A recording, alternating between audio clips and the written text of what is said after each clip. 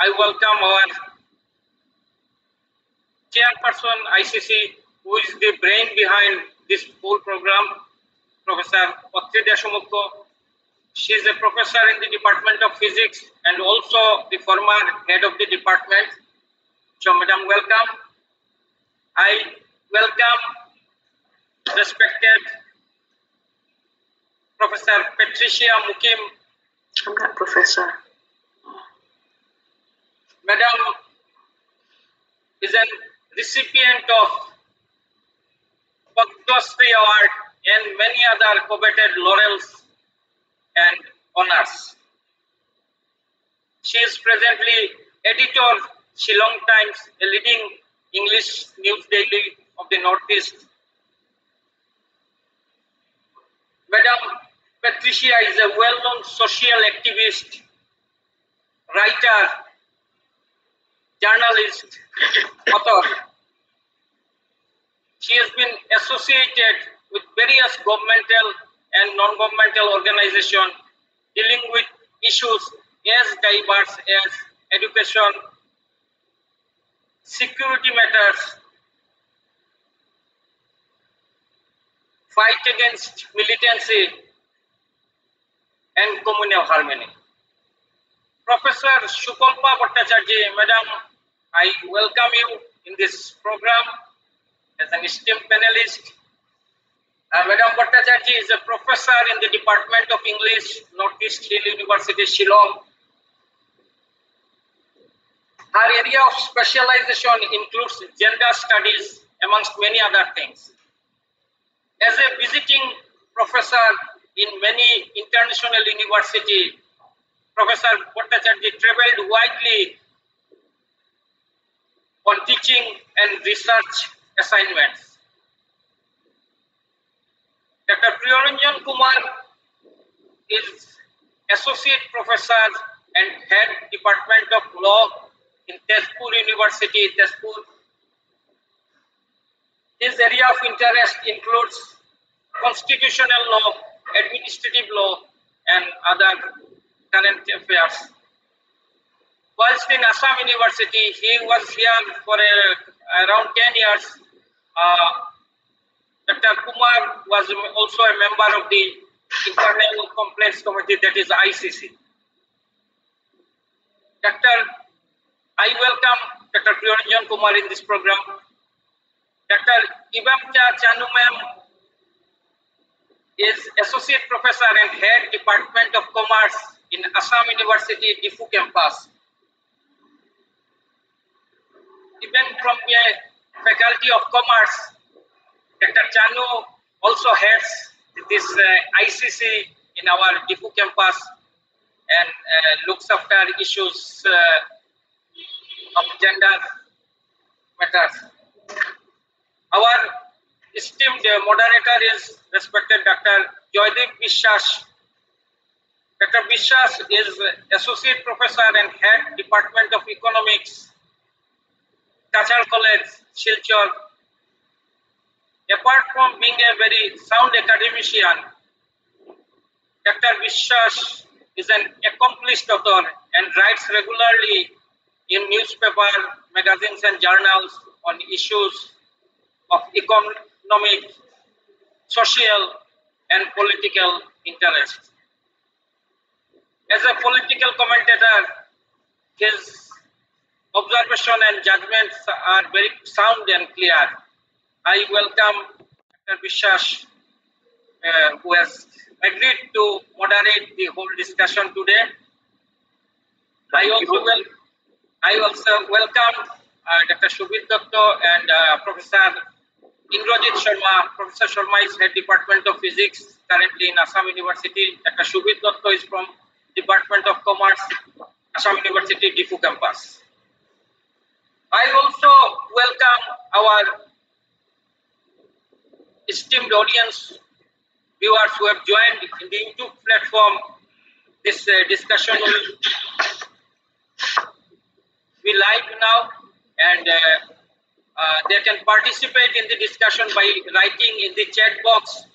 We'll take some questions uh, within the permissible time. Uh, so beside, uh, I will uh, close here, but before that, I will request our esteemed chairperson, uh, ma'am, to make her opening remarks. And then uh, uh, the floor will be open to moderator and the panelists. Thank you one and all and welcome all of Thank you, Mr. Niharendu, for your uh, kind introduction. Uh, on behalf of internal Ma'am, please unmute yourself.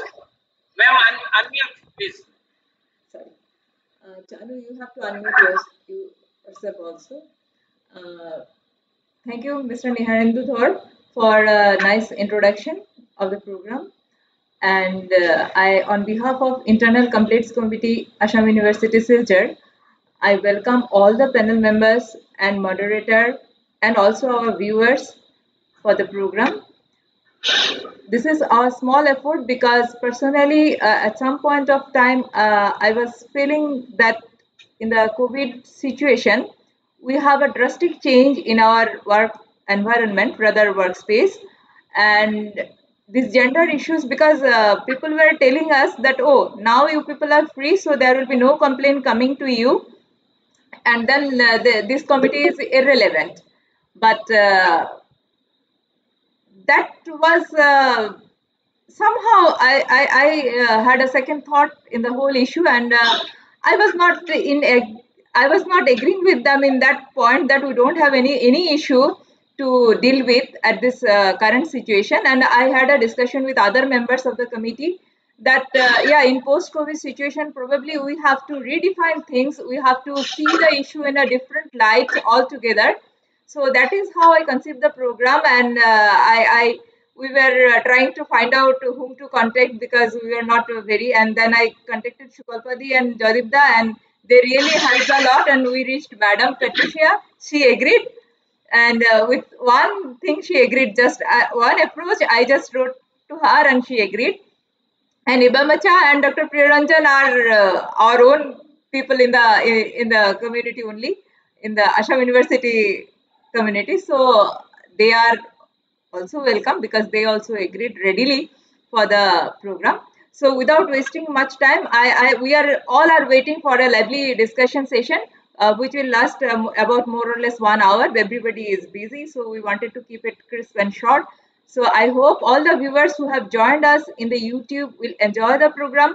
And uh, with this, I would like to hand over the session to uh, Biswas, who is acting as a moderator, who has agreed kindly to act as a moderator because he is a very good debater. Uh, probably our audience uh, has an uh, information about it. So with that, I would like to request Jajita to please go ahead with the discussion. And again, I would like to thank all the panel members for sparing your so much valuable time for us being present here today with us. Thank you so much.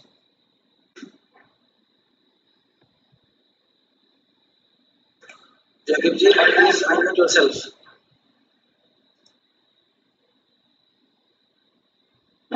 He's not unmuted. Jagibji, your voice is not coming. Please unmute yourself. Uh, now I suppose I'm audible.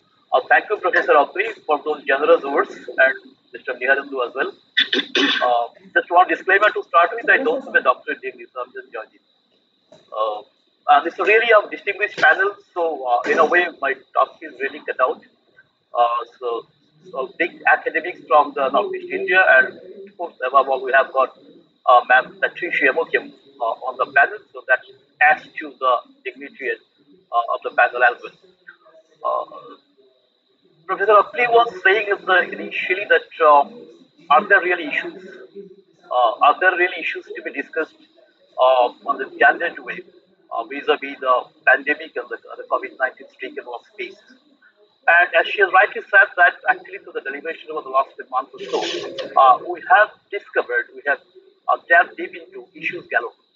And we have got the right set of panels to discuss those. Uh, just to begin with, uh, a reminder to ourselves actually that the female workforce participation rate has plummeted to a dangerous level of just 16.1% in the country post COVID 19 pandemic. India was, in any case, doing very bad in the female labor force participation. It had been coming down uh, secularly through the last three, four years. But the pandemic has most hit this particular sector. Uh, a Deloitte survey uh, carried out, Deloitte, the global giant in the accounting firm, uh, Deloitte survey told us that the situation is really, really very grim, where seven out of every 10 women, uh, working women, have experienced a negative shift in their routine. So this is the real scenario. And apart from that, when the workspaces have undergone definitional changes, where the workspace itself has undergone a kind of a shrinkage due to the COVID-19 pandemic and its collateral damage. I think like any other uh, any other pandemic situations, any other disaster, where always we find that the women folk are the worst hit. This time around also, we have seen the same trend of history to continue. So on with that uh, initial note, I'll go straight to the panel. May I start with Professor Sukalpa? Uh, Shikalpadi uh, will go uh, in a way for the five minutes for the initial take from all the panelists. After that, we'll throw open the discussion. So may I start with you, Professor Sukalpa? Thank you, Georgie. Uh, first of all, uh, I thank uh, ICC Assam University for this uh, virtual homecoming, making it possible for me. Uh, coming to the question of the workspace uh, in the pandemic situation, workspace, uh, a conflict between both space and place that happens both in the private and the public space. Uh, what is very important here is that uh, if, if I start from the place I come from, uh, and the space of an academic institution, there has been uh, reports of drastic reduction of productivity in research as far as women faculties are concerned all over the world. And to come to the question of the complaints that have been received by the National Women's Commission, uh, you will find that there is a rise in the number of complaints that have been received because of the manner in which the, the, the circulars relating to online classes and other uh, COVID protocols, the manner in which it has been implemented in academic institutions, making it extremely difficult for particularly women faculty to function. And the domestic space of the home, with more members staying at home, that space virtually has turned into a place of conflict. The home is no longer a home. And it's extremely difficult to imagine how we find that, you know, uh, the entire issues of because of the restricted space, the close proximity between the perpetrators of, of domestic violence and the affected, the victims. And it is because of this that you find that uh, the agencies of justice, the agency of uh, you know uh, uh governmental support or NGO support, there is a total control of the being, and there is a terrible condition of interpersonal, uh, very violent relationships, and it's all over. It is it is very very phenomenal. Uh, it happens always that after a disaster, a natural disaster or an endemic or a pandemic, there has always been an effect on interpersonal relationship. But to come to this question, particularly of COVID 19, what we find is that a very hostile atmosphere, both in the in the in the space of, uh, of academic institutions or other institutions for that matter, also a terrible decline of interpersonal relationships because of the restricted space of freedom, a close proximity between perpetrators, and total closure of any kind of support mechanism that the, the, the victims can actually go to. Now, also coming to the question of you know interpersonal relationships and gender issues, that being the topic of today's discussion, I also bring in the question of the migrant, particularly the migrant uh, women, you know, because of the various, because they're always in a flux and more vulnerable, and a total denial of not only loss of jobs, but also denial of all kinds of measures of, you know, sanitized or a kind of a hygienic living because of the stigma. In India, we always have a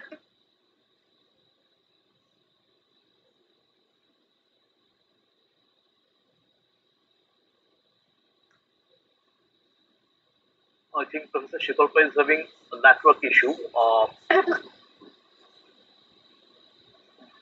system of class, caste, patriarchy that operates at every level, from the top institutional level down to the societal, to the yeah.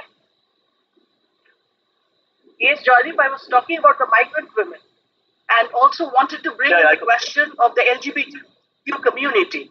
You see, that it's a you know terrible kind of uh, you know social stigma, and uh, because they are you know associated with more intimate uh, workspace, restaurants, bars, uh, and let's say uh, the healthcare system. Because of this intimate relationship, there's a direct you know effect of COVID 19, the kind of social and stigmatic exclusion that these communities of people experience. So I think there's a serious decline of human values, there's a serious decline of interpersonal relationships, there's a total breakdown of law and order, and in the name of uh, in the name of uh, response to the pandemic, with the serious shift of funding.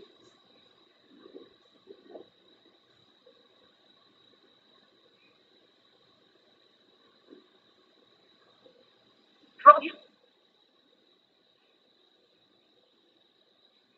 the connectivity is getting even worse. Uh,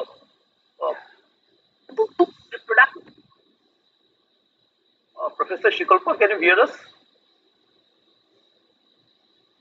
Hello, Professor Sukalpa, can you hear me?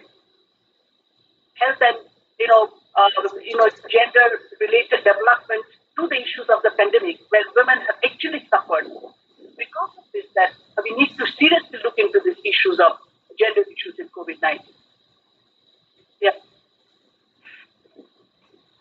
Okay, go ahead. Yeah. yes Rajit, can you hear me Yeah, yeah, now I can hear you, but uh, your voice is uh, cracked. And, Yeah. but we could get you actually. I mean, uh, we could get, Can we could get the long and, long and short of what is said.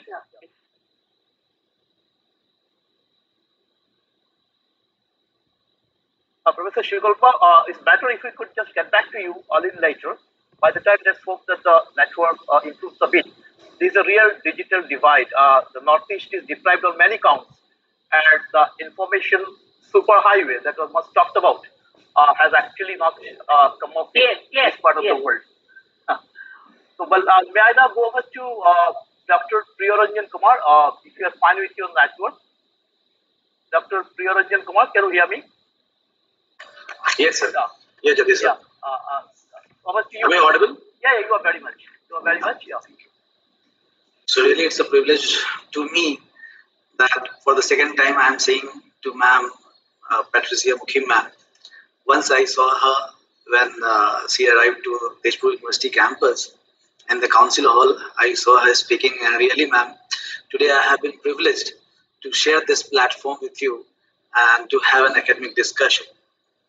I really am grateful to uh, Assam University ICC cell to invite me on this occasion and share some of my views, though I am, I can say, uh, lit- illiterate on the issue of gender because I am not a woman.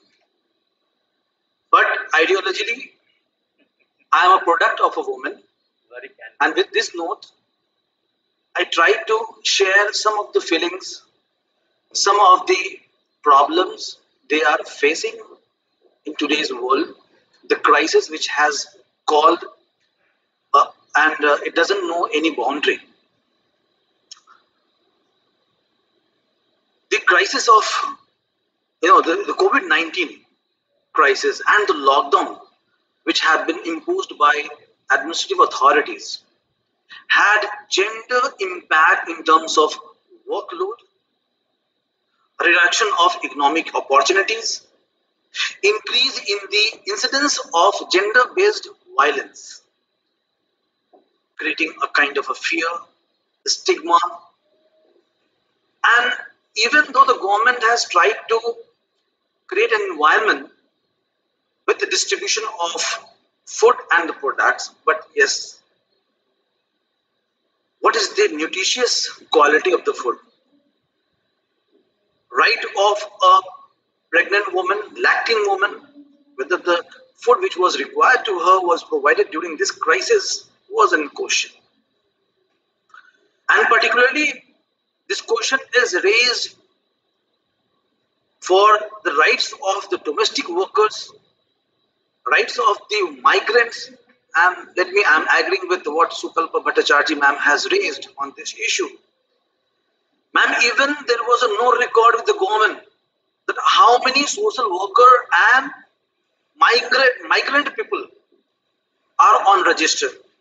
And therefore, I praise the government that at least in 2021, the government has taken this initiative to launch five plan, five pan India survey on migrants and domestic worker. Now, as a being, you know, uh, a student of law, I would like to say that there is a very close nexus between law and society. As and when the change occur in society, the law is required to be changed, and when there is a new introduction of a law, according to society has to be changed. What I mean to say that that whenever there was an industrial innovation, whenever there was any scientific development, whenever there was any change in the tradition, custom, according to the law has been changed. Even when there was a crisis, like you know, uh, earthquake, the law has came to actually to actually provide a rehabilitation mechanism to all those persons who have lost their you know, life, right to livelihood. In the same way, when this COVID 19 came, there was a change brought in the law. At least to control the human behavior, to control their how they should behave in this pandemic situation, to create a control over the work distribution mechanism, which has adversely impacted upon the economic resources. And many women, I can quote, as per the International Labour Organization, the inequality between the women and the men in the world of work that have worsened during COVID-19 situation. And ILO has said that it's going to be continued in future also. It's a very uh, amazing to, you know, and very difficult to digest that only 43.2% of the world working age women will be employed in 2021. What about the rest of the women? And more, you know, uh, interestingly, in uh, uh, the economic uh, economic survey report, which was uh, made in 2020 and 21, it was presented in the Indian Parliament and the pan-India workforce participation rate uh, among the female was only 26.5% compared to the men participation that was of 80.3%. Now see the inequality between you know, economic resources.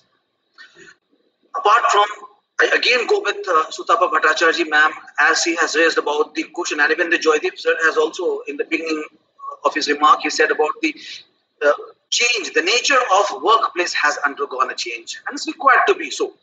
Because when this uh, the law on sexual harassment of women at workplace was built up on the basis of Justice, late Justice J.S. Verma report, who was a participant when he has delivered the judgment in Visakha case.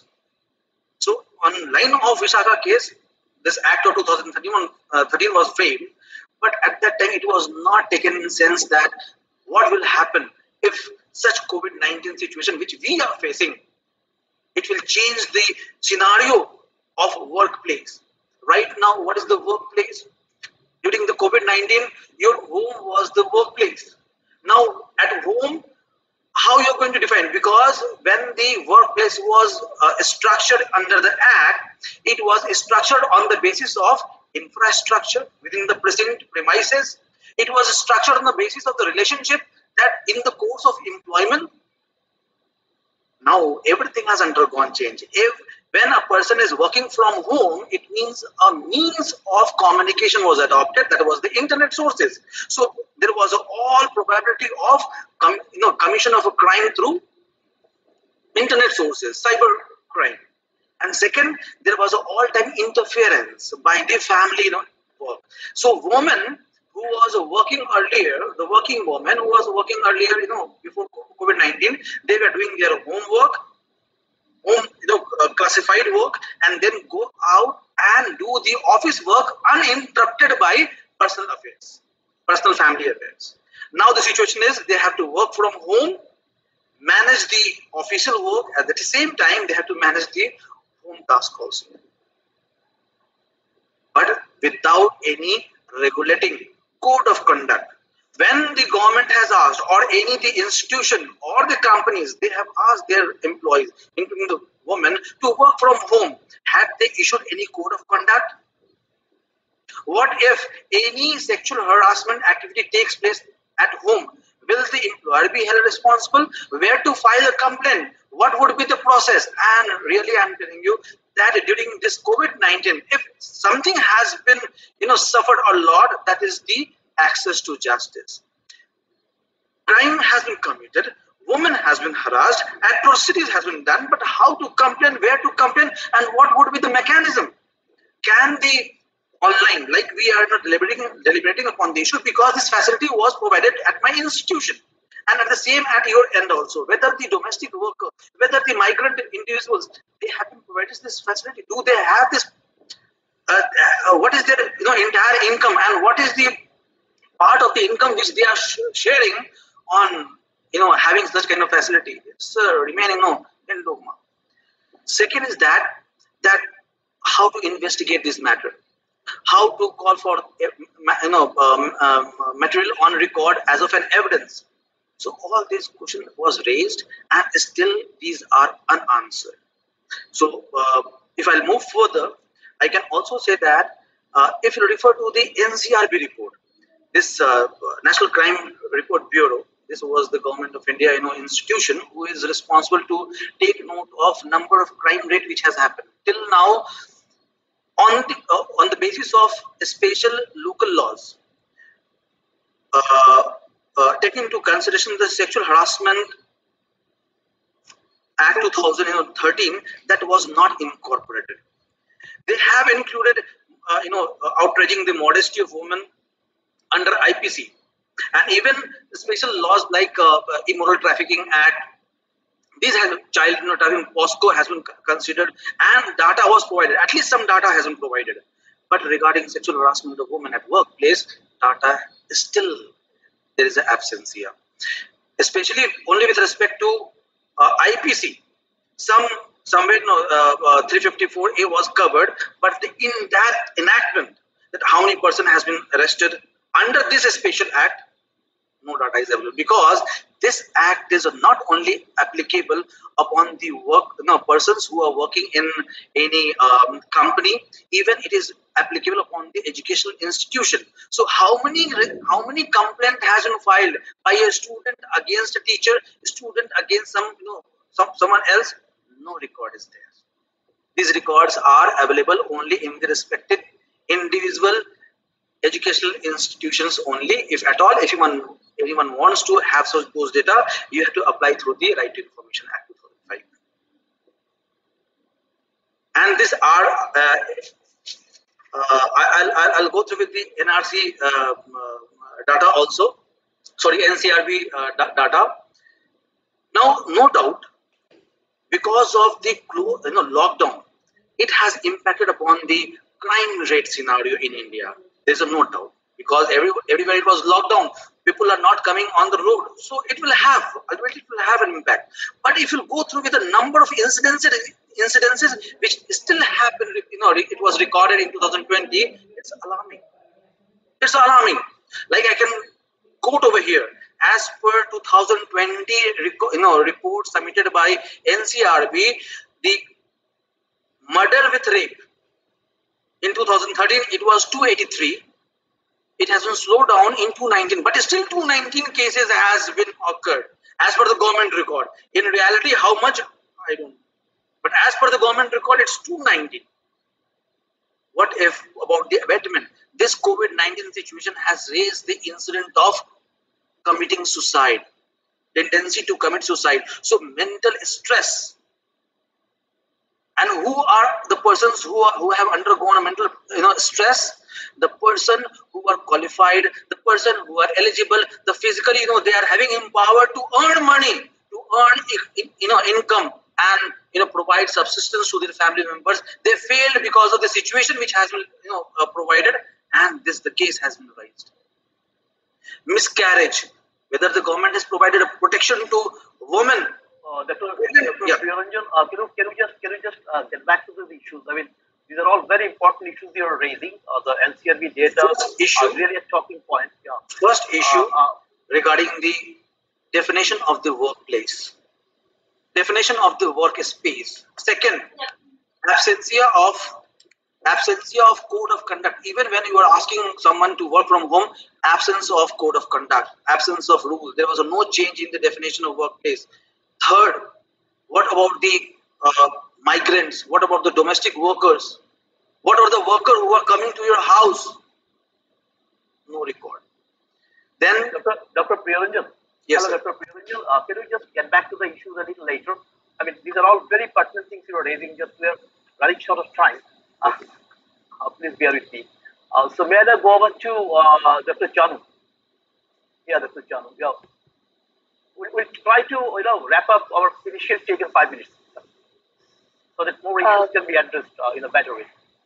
Yeah, thank you, sir. Uh, thank you, Zoitip, sir. Uh, I'm audible to everyone. And uh, good evening, all the respected panelists. Uh, today, I'm so happy that I can see uh, Mukhim ma'am. So since uh, my student flight, uh, so uh, I have a dream to meet uh, ma'am and uh, discuss with ma'am with many issues. And uh, I have been following uh, since my student life about uh, like uh, what to say articles written by ma'am, and I consider that ma'am is the voice of voiceless people. Uh, Madam represents the voice of voiceless people. And uh, uh, uh, thank you, ma'am, uh, because I get the chance to see you today, and thanks to the ICC uh, Assam University Silchar. So all the respected panelists and the all the participants as well as all the viewers who are accessing today's discussion. So when we discuss about the gender issues uh, in COVID uh, workplace, this is today's uh, uh, discussion. Uh, uh, a few things uh, come to my mind uh, regarding the issues. That is the uh, one is the gender uh, equality in the workplace, whether we are having gender equality in the workplace.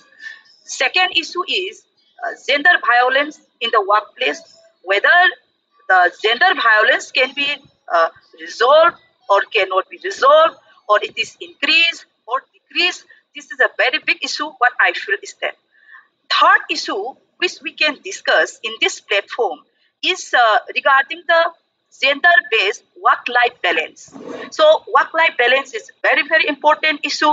As uh, other panelists have also mentioned that uh, because of the uh, COVID-19 pandemic, we have to work at home, and uh, yes, uh, remote working is the order of the day.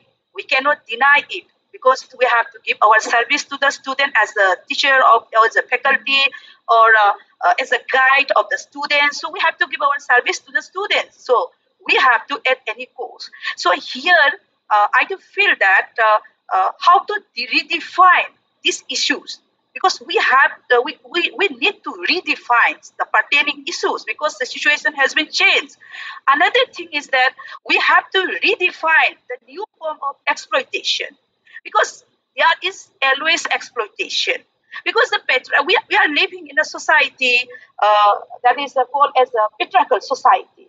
So here when we are living in a uh, a society where patriarchy is the order of the day automatically knowingly or unknowingly male or female or women or male uh, behaves uh, in a different way. So we have to de- redefine. I think we, we need to redefine uh, in the new form of this new form of uh, exploitation and the discrimination during this COVID-19 pandemic.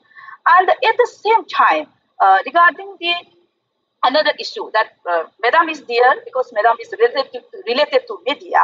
So how to uh, uh, what to say redefine the new form of uh, what to say portrayal of uh, women in the in the media uh, in this COVID situation when we see uh, in the advertisement a new form of uh, culture has been shown in the paid media, paid advertisement, and we have to look into it because it affects in our workplace and it gives a chance to our opponent. What I'm saying, opponent is the male, those who belong to uh, male chauvinist group, okay, to say something against the women. So these issues are uh, uh, needed to be discussed when we have this type of panel discussion.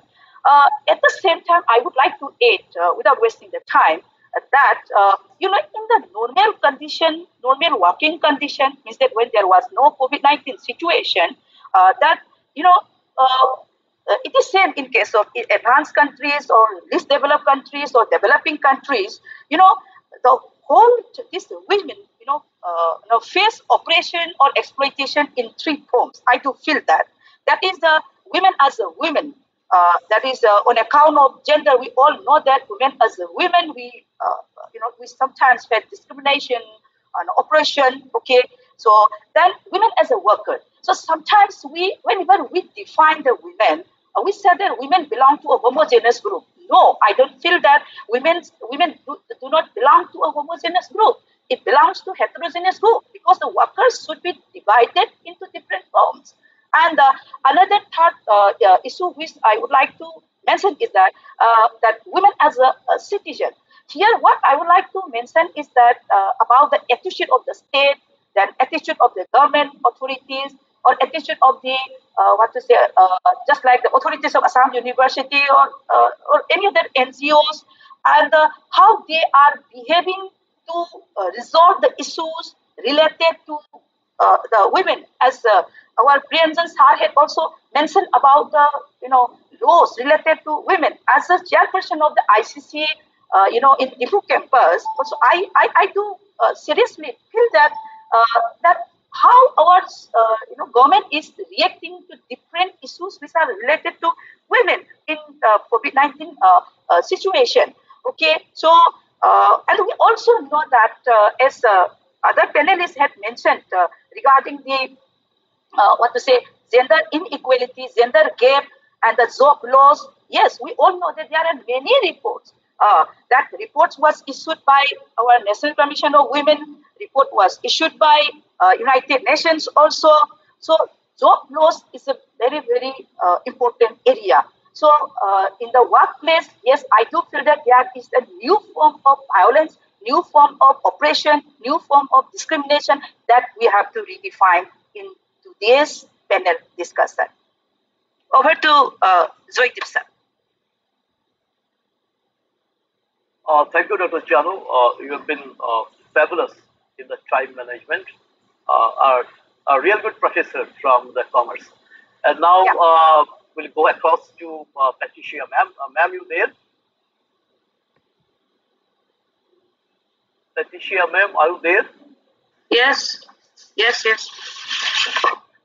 Yeah. So, ma'am, we have okay. a lot of things, and in fact, actually, uh, we started off with the uh, workspaces vis-a-vis the gender rights and gender issues, but uh, the way our panelists have contributed to the uh, collaborative uh, intellectual thoughts on the issue now it, is, it has gone on to an expanded horizon. So there exactly, I would like to put ma'am, please speak for us. Thank you very much for this invitation. And uh, see, I'm not an academic, so somebody who introduced me as professor is completely wrong. I'm just, uh, you know, a, a, media person. And uh, we were most affected by COVID-19. The Shillong Times last year had to close for three days. We are the only newspaper in the world that had to shut down. And why we had to shut down is again because we have what we call these traditional institutions. Okay, they took a decision that we had to shut down because uh, a machine man or two and a driver had tested positive. There was no need to actually shut down. But you know, patriarchy is so dominant in these traditional institutions, and then there's also this rivalry, this attempt to shut the voices, you know, the voices of the media. So we uh, actually uh, have the distinction of being the only newspaper that had to shut down for three days because of COVID. Now, people have spoken about uh, the definition of the workspace.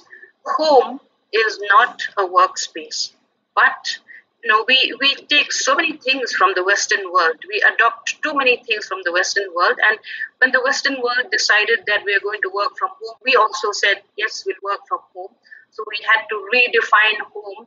And can you imagine if you have a home with only three rooms, and uh, if the male member of the family considers it more important for him to work from a better space, then the woman has to shift to the kitchen there were days when some of our staff had to uh, work from their kitchen tables or from their bedroom or, you know, even uh, from some balcony somewhere. So when, when we talk of, uh, of COVID and gender, you know, the sad thing is that the gender concerns were put on the back burner during COVID.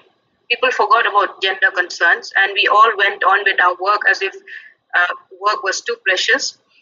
Uh, and because I, I speak from ground realities, I'd like to say that, you know, there are some professions that are more, uh, that employ more women than others.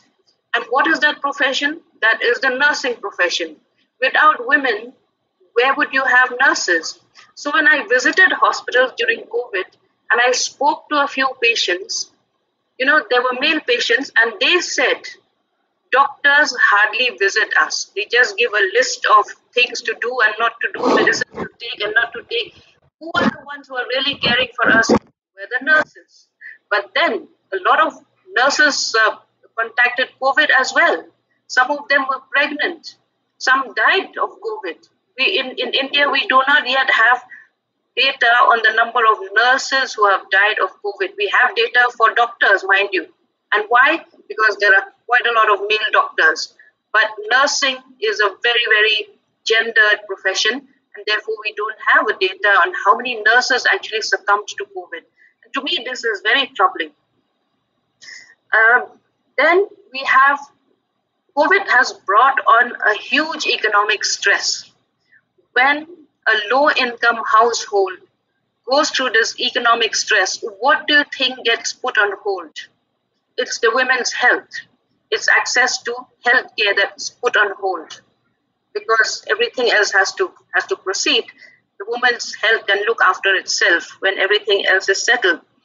Then, uh, when I walk around, I find that there are so many women queuing up for water from the public taps. Why? Much more water is spent during COVID because of the lockdown. There are so many members at home the whole day. So much water is spent, you know. Uh, uh, I mean, on the whole, there's so much water spent. And who brings the water is the women who bring the water home. So these are things we tend to forget as academics because we live, we also live in sheltered spaces. Let's admit that. Uh, so COVID has actually widened the gender divide so much more that than we can begin to handle it. We'll have to go back to scratch and see how we can we can look at these issues. Uh, then I visited NEIGRIHMS here. I think all of you know NEIGRIHMS. It's supposed to be the equivalent of AIIMS. You know, they have uh, a lot of nurses on contract. And you know how much is paid? Have paid a total of 19,000. That's 19,000, no casual leave, no sick leave, no nothing. And they serve several hours more a day than any of us work. They serve about 14 hours a day. But nobody really cares about all that. Then uh, people have spoken about the rise in domestic violence you know, uh, I'm sorry to be a little state specific, but in our state, we did not even have, since last year, we have not appointed a chairperson for the State Commission for Women. We still don't have a chairperson. So people have been keeping on hold their complaints. Everyone has spoken about the rise in domestic violence. Why has domestic violence risen? You live in small little spaces. The man, because of the lockdown, can't go out, has no access to cigarettes and to liquor, and unburdens himself on the woman. You know, there is there's mental violence, there's physical violence, there's verbal violence, and it's really, really pathetic. And I come from a state that's matrilineal, but you have the highest number of female headed households in this state because abandonment, divorce are so easy. And these women carry the burden of bringing up their children. You, in a matrilineal society, children are left with the woman. Now, I have spoken to some of these women. They have just one mobile phone. They have three children, and um, only one child can do online class at a time. Can you imagine that situation? So you know when we when we live a middle class life, we don't really understand what happens at the grassroots. And the government, no government, no institution has tried to help these women to get even an additional phone to help their to, to enable their kids to go to school. And then I live right next to a creche. You know, a creche is a place where parents can keep their kids and then go to work. That creche was closed. So you can imagine there were university teachers who had COVID and uh, it took them very long to recover, but they were hounded by the university because the university said you have to have online classes. Some of these women uh, professors have small children, you know, and while they were giving their classes, the kids would come and disrupt. I'm telling you that it, it, it is really chaotic, you know, this work from home is very chaotic. And while some people say that this flexi timing and, uh, you know, the schedule can be, things can be rescheduled, that has helped women in some way. I think it's helped a very small percentage of women.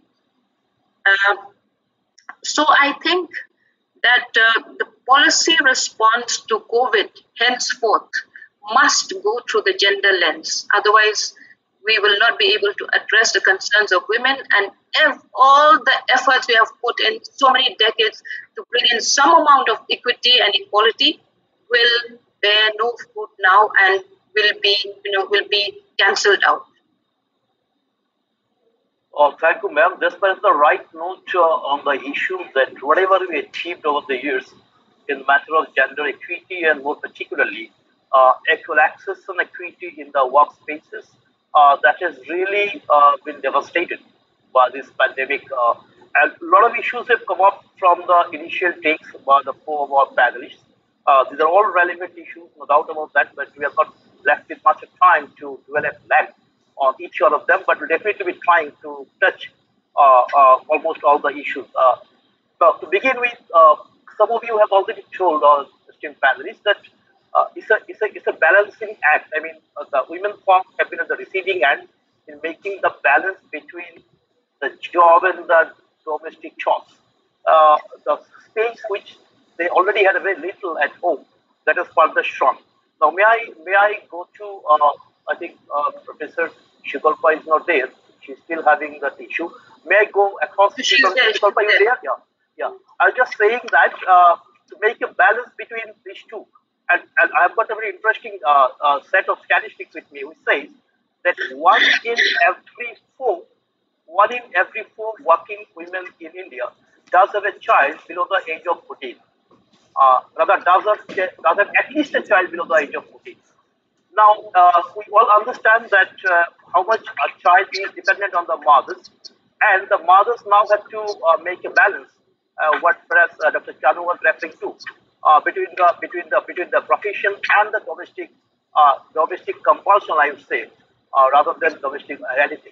So now, how to really go about balancing that thing? And in the past few months and maybe in a year and a half, we have seen the worst sort of things. So, Professor Sukalpa, uh, how do you really uh, try to address this issue? I mean, quick take on that actually. The big issue needs a long lecture, But a quick take on that, uh, I'll pray for. Yeah, I, I was trying. I was trying to be more critical on one issue that how the COVID nineteen situation has been utilized by institutions and our patriarchal ideological agencies to actually marginalize because it is basically a distortion of power dynamics that happen both outside the home and inside the home. And therefore the home never remained a home. It was a battlefield but the respite that women used to get working women and now this unpaid domestic labor the care everything has been seriously imposed and just think about it even in countries like australia have some alert machines in, in grocery shops. Why?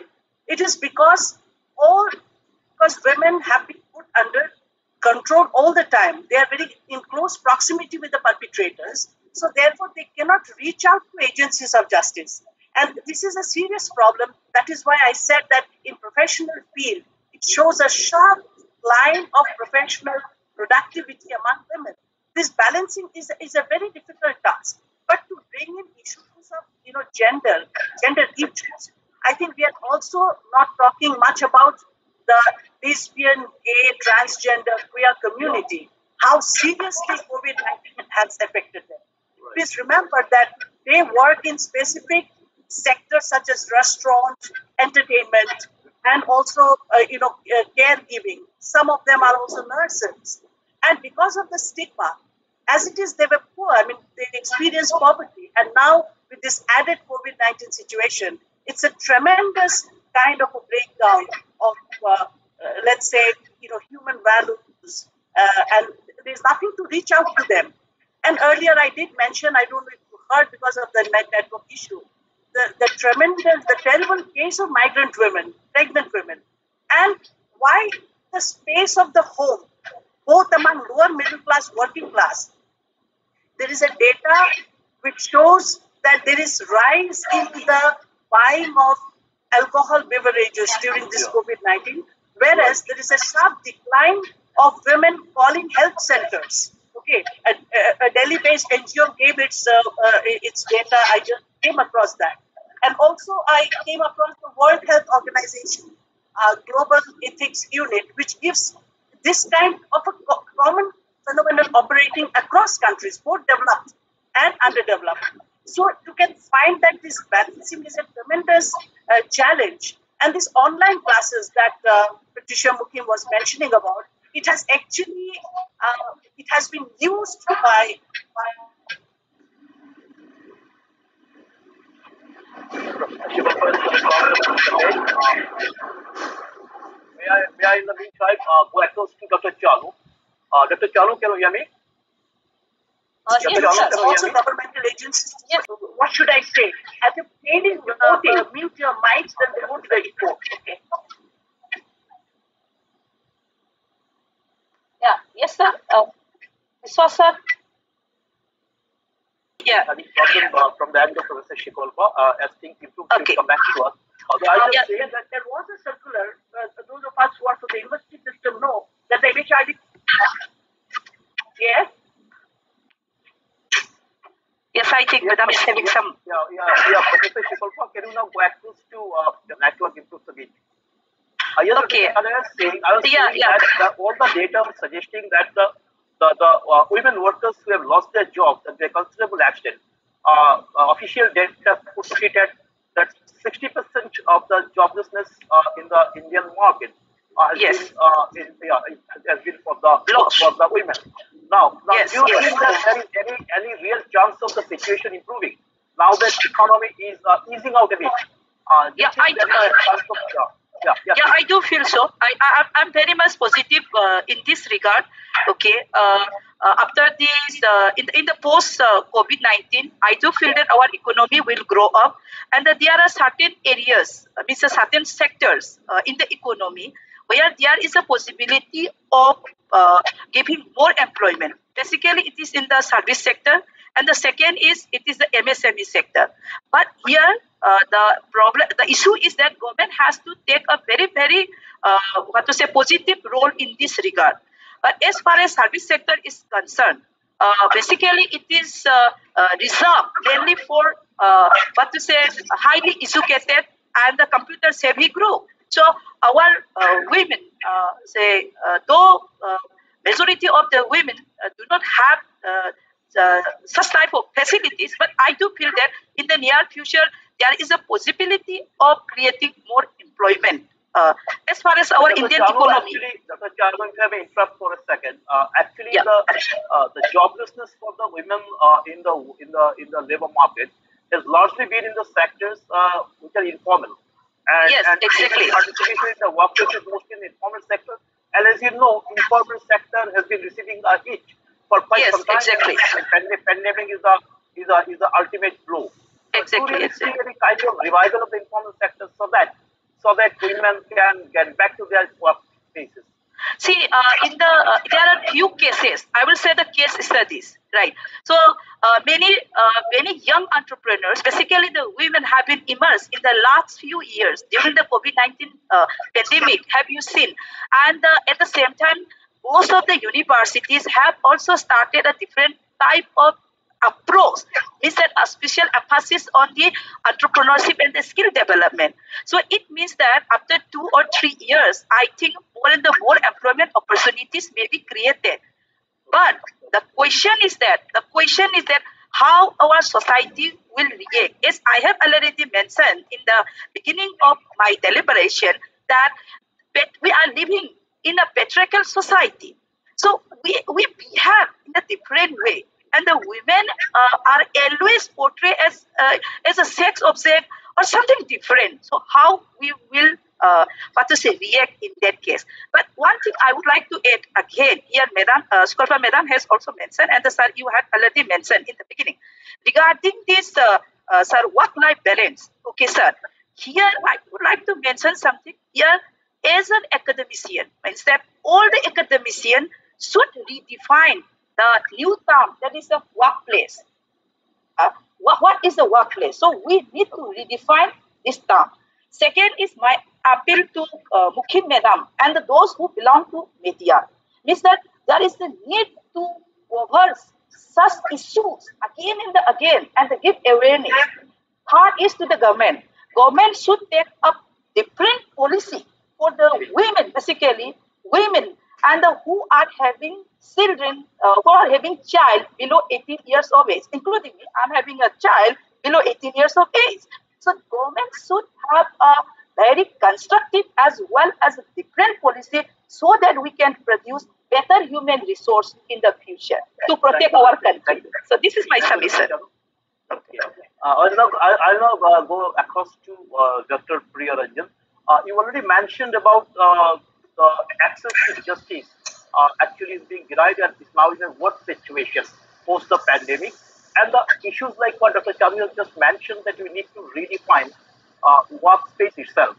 And you also mentioned uh, you also mentioned the 2013 Act, which you feel doesn't really capture the realities in the post-pandemic situation when the workspace itself needs a redefinition. Now, do you think that a legal structure in India can really respond to that?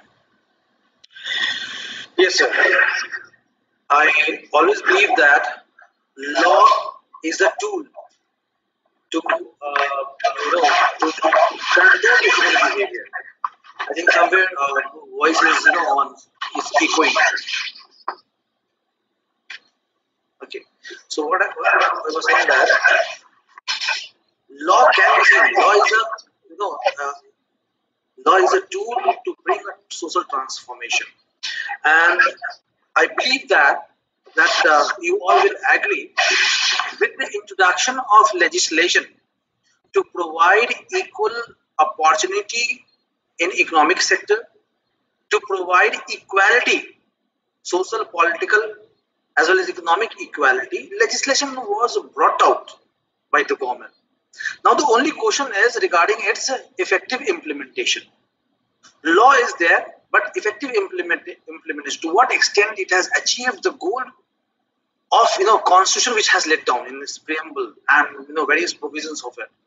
Now, regarding defining the workplace, say it's if you if you, if you can go through the articulation of uh, you know UGC University Grant Commission Prevention, Prohibition and Redressal uh, Sexual Harassment of Women Employees and Student in Higher Education Institution Regulation 2015, which was uh, made on the basis of 2013 Act.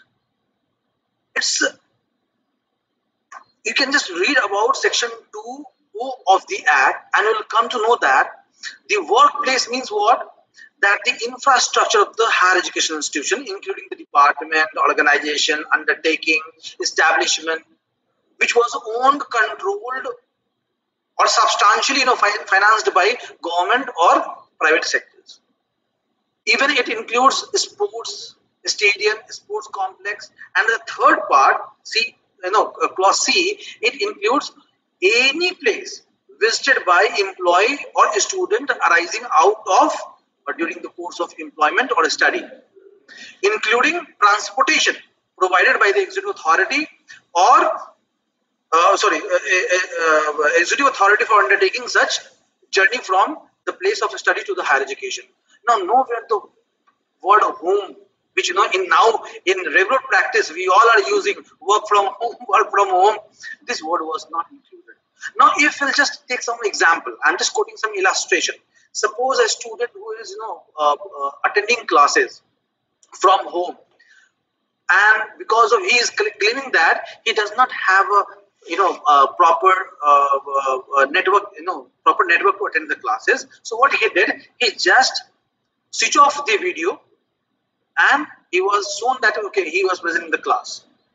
Now, if the teacher is asking him switch on your video, can you assure that the student was very sincere and punctually sitting on the table, keeping books in front of him or her? Teacher does not have a control over their classroom. Teacher does not have control over their students. And this is not right now what I am speaking. It's not on the gender issue. It was applicable on all the students whether they are male, they are female. Now, among the female, if they would have been in the physically present in the class, they could have applied for various, various you know, applications for their own reason. Now it's not coming. It's not coming. Does it mean that proper medical facility, which would have been provided by the educational institution, had been provided to the girl student? No.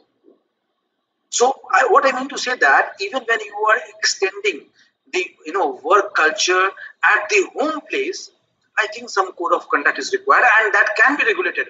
I can suggest that that if you conduct a code like you know if a student is appearing in the class, then you you know uh, there's a code of conduct. How you have to behave with your own uh, friends, how you have to behave with your you know teachers, how you have to you know uh, wear yourself.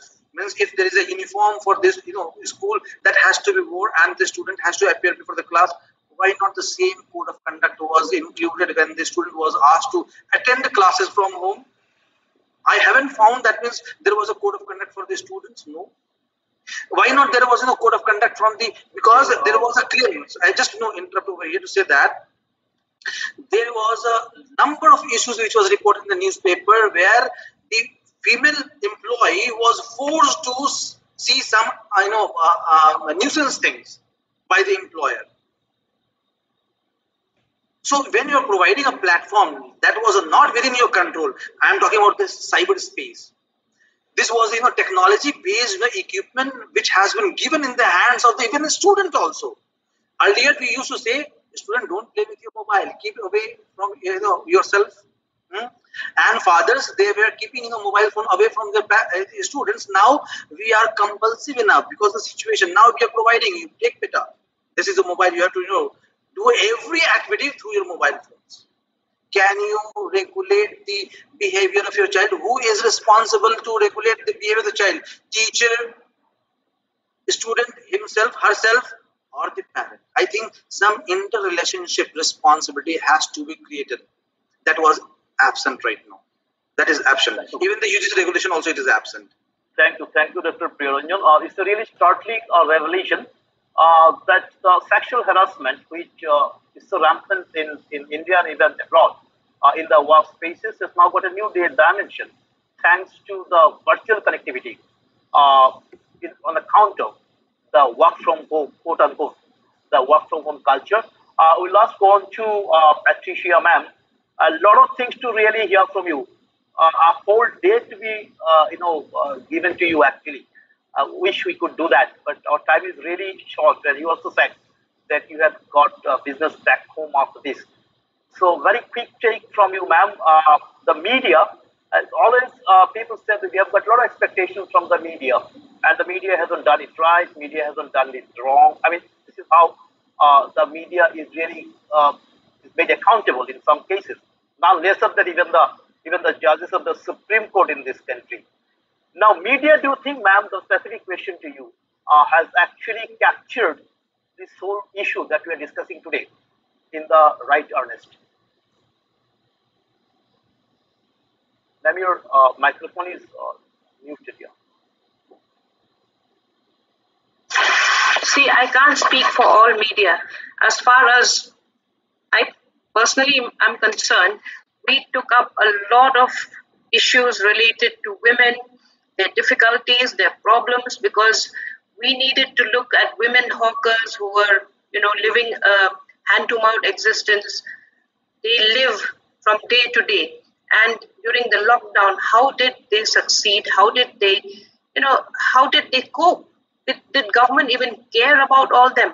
All these women who are hawking and who are uh, selling vegetables on the pavement and so on and so forth. We we brought out all these. We brought out the lack of healthcare facilities, uh, the fact that women, uh, you know, decided that they were going to deliver babies at home because they were too scared to go to hospitals, and as a result, you know, when you don't get institutional delivery, and when your delivery is difficult, the child dies or the mother dies. And there have been a lot of such deaths. In fact, uh, in Meghalaya, we had a study last year between April and July. We had 877 infant deaths in those many months. Can you imagine? So we brought out all this, and it became it became a national concern actually.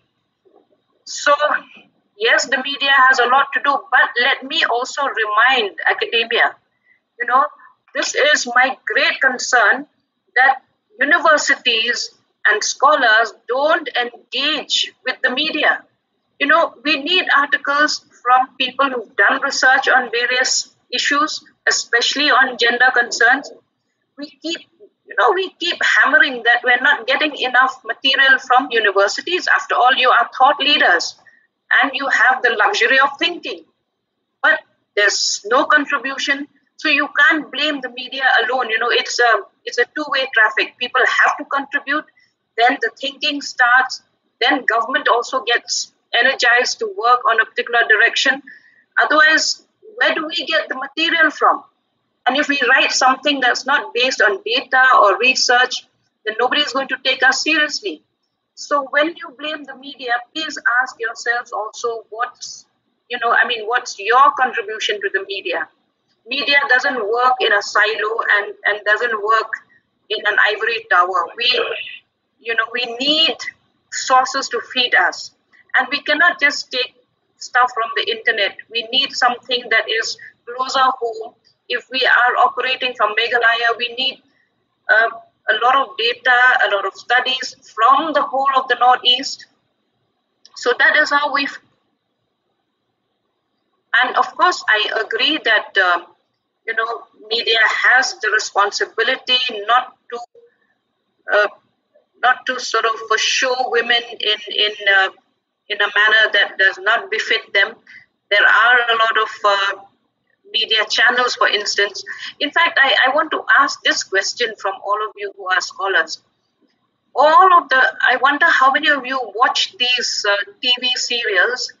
They all demonize women you know, all the women there are like gundis. I call them gundis. So how do we allow this? And it's so set in the minds of the average adult Indian male that these women, the whole day, they only scheme, they wear good clothes, they even sleep with their lovely saris on. It's such a bad portrayal of women. At least in the newspapers, we don't do that. But other media does it and we don't even have media critics, you know, these days. So my, my, I would call upon all of you, all of us rather, to raise our voices on these sort of uh, television channels that show women in such poor light. So that's really a sharp note to uh, end our program uh, with Patricia, and I'm sure, apart from the three academics that we have on the panel, a lot more are listening to us, uh, watching this program. So, uh, appeal from Joydeep, if you'll allow, I can I can interfere, and you know I would like to just you know uh, response on your, the earlier question to which the uh, Patricia ma'am has already responded. People always interfere. Go ahead, uh, 30 seconds. That's 30 seconds. Okay. Yes, yeah. Uh, I just want to appraise over here during the COVID-19. If all the citizens of India have been appraised about the number of incidents which was happening on the COVID-19, the people they are dying, the people who are getting affected, these are all approach to all the citizens as of information through media only. Yeah. Even the government they have acted, even the you know, police personnel, or we, we can take example you know, all the um, um, health sector, health service providers, including nurses, doctors, and all the staff member. Their creativity, their activity has reached to us, and we have been benefited only because of the media. I can add over here that in Patna, uh, there was a complaint which was made by 22 years old girl against three, uh, uh, you know, a staff member of uh, City Paras Hospital, where she has accused these three persons for sexually assaulting her mother, who was admitted. She was of 45 years of age, and she was critically in a critical condition affected by COVID-19. Now, when she was uh, uh, sexually assaulted by three three persons, she raised an alarm. Though her mother died there, and the next day only she died. But the uh, daughter, she raised the alarm, but because the uh, hospital authority they were very powerful with economic in terms of economic connection etc her voice was suppressed. But thanks to media the live you know patna television they have casted her you know interview. And uh, Nivedita Jha, who was, you know, was a working president of the Bihar Mahila uh, Samaj, she told that the person, the authority of the hospital authority, Mr. Kumar, he has given interview in media that was derogatory remark which he has given against the woman, against the, even the female who has died, her mother who has died. Therefore, this was only media because of which the National yes, Commission yes, of, for Women, Patna, she came into role and the cognizance has been taken. So thanks right. to media. And negative aspect is always there. Being a human being, if you can take institution, you can criticize anything. Even the media can criticize it because of the role which they have played. But yes, positive role always be appreciated. I, I, I, want, I want to say one thing, one one more thing. Yeah. See, uh, as media persons, we also acted as intermediaries between people and government. Personally, I had given a lot of suggestions to government, for instance, to start this war room kind of, uh, you know, uh, center where you can see exactly what's happening, how many hospital beds are available, which hospital has oxygen, which hospital doesn't have. They didn't have this in the beginning. Of course, some people uh, have a problem with the word war room, but I can't help it. And then you know, a lot of information was put up even on our own personal social media pages. So it, the information, the, the idea was to send out as much information as possible. And then, you know, there is this problem of women not having access to technology, not having um, mobile phones, and therefore remaining uninformed even about the do's and don'ts of COVID. So, yeah, technology is a double edged sword, as somebody said. Right we are now extremely close to the finish. Actually, the, the appeal that uh, Patricia ma'am has uh, played out here that should get magnified through our program and should reach intended uh, the group, the academics. Three of you are here, and I'm sure more are really watching our program. The message is write a bit more in the in the popular media.